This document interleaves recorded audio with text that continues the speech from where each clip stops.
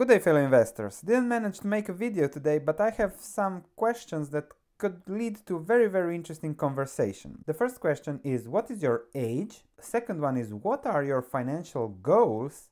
And the third one is how do you expect to get there?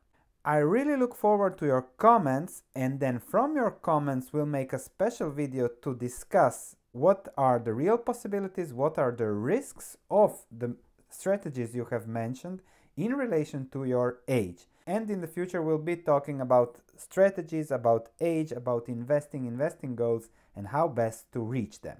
I apologize if you expected the video today. However, I think you will find extremely interesting comments where we can all learn something from together.